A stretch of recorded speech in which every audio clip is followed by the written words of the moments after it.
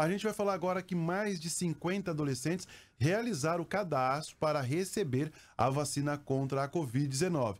Esse grupo, né, vai receber o imunizante da Pfizer e todos eles possuem alguma comorbidade. Adolescentes que tenham entre 12 e 17 anos de idade e que possuam ao menos uma comorbidade prevista na lista do Plano Nacional de Imunização poderão receber a vacina contra a Covid-19 em Três Lagoas. Para isso, é necessário fazer um cadastro na Central de Imunização. Desde junho, mais de 50 jovens que têm este perfil já realizaram cadastro e aguardam pelo início da vacinação. Na contramão do que ocorre por aqui, na capital do estado, a vez dos adolescentes que possuem alguma comorbidade já chegou. Desde quinta-feira passada, jovens com idade entre 12 e 17 anos estão recebendo a vacina da Pfizer, que é a única aprovada pela Anvisa para a imunização deste público no país.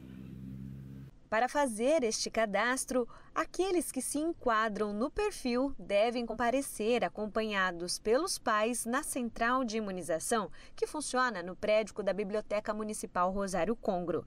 Além disso, precisa apresentar alguns documentos, entre eles algum documento oficial com foto e laudo médico que comprove a comorbidade, além de CPF, cartão do SUS e comprovante de residência atualizado. Em Campo Grande, em um único dia, 1.672 adolescentes foram vacinados com a Pfizer. Por nota, a Secretaria de Saúde de Três Lagoas informou que a expectativa é iniciar o agendamento dessas pessoas ainda nesta semana, para que em seguida comece a vaciná-las, mas não informou com precisão nenhuma data.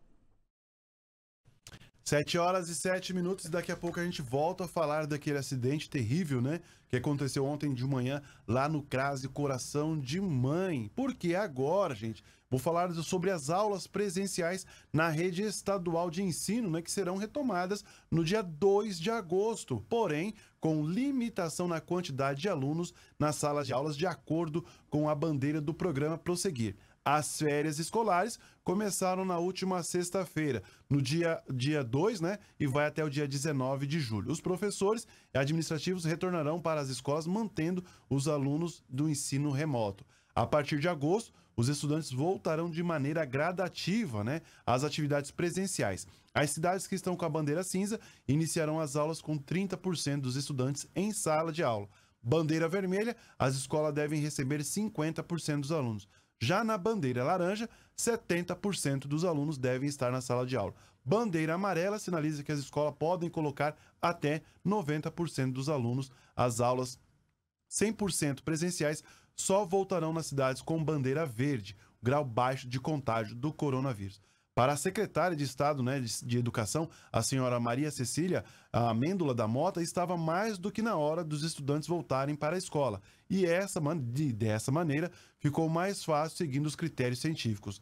Nós, professores, devemos basear em evidências a cada decisão que tomamos para dar segurança a toda a população envolvida quer seja os docentes, os, é, os docentes, né, e discentes administrativos, principalmente as famílias dos envolvidos, que contam com a escola como um lugar seguro, frisou a secretária de Educação do Estado de Mato Grosso do Sul. Agora, uma verdade seja dita: esses alunos, é, tanto da escola estadual quanto municipal, vão perder muito com essa pandemia desde o ano passado, porque o ensino, que já não era dos melhores, se agravou ainda mais.